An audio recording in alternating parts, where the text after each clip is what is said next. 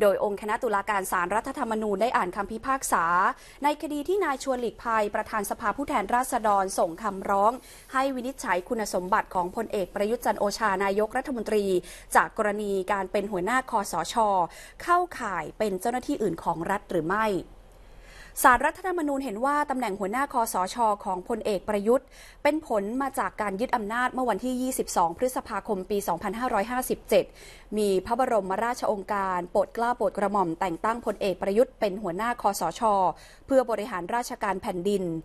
และเป็นตำแหน่งที่ใช้อำนาจรัฐาธิปัตย์เป็นอำนาจสูงสุดในการปกครองประเทศ เห็นได้จากการออกประกาศและคำสั่งหลายฉบับที่ไม่อยู่ภายใต้การบังคับบัญชา หรือการกำกับดูแลของรัรัฐ หรือหน่วยงานของรัฐ ดังนั้นตำแหน่งหัวหน้าคอสช จึงไม่ใช่เจ้าหน้าที่อื่นของรัฐ และไม่มีลักษณะต้องห้ามตามรัฐธรรมนูญ จึงวินิจฉัยความเป็นรัฐมนตรีของพลเอกประยุทธ์ไม่สิ้นสุดลงเฉพาะตัวค่ะสารรัฐธรรมนูญยังได้สรุปลักษณะเจ้าหน้าที่อื่นของรัฐไว้ บอกว่า 1. ได้รับแต่งตั้งหรือเลือกตั้งตามกฎหมาย 2. มีอำนาจหน้าที่ดำเนินการหรือปฏิบัติปฏิบัติการให้เป็นไปตามกฎหมาย และปฏิบัติงานประจำ 3. อยู่ใต้บังคับบัญชาหรือกำกับดูแลของรัฐ